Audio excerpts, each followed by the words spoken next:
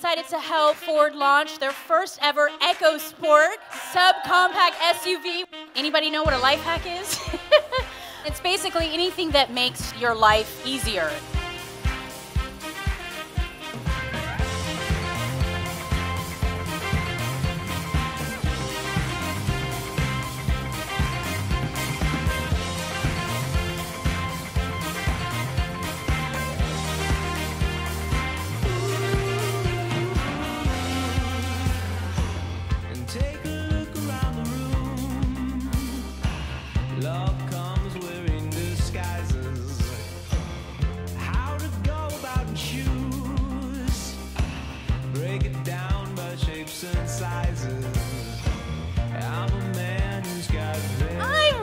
Excited to be here to show you guys some meal prep life hacks.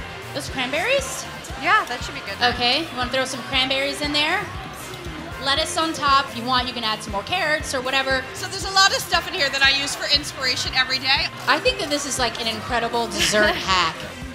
Ask yourself a question How might my life be better with less? Does this thing add value to my life?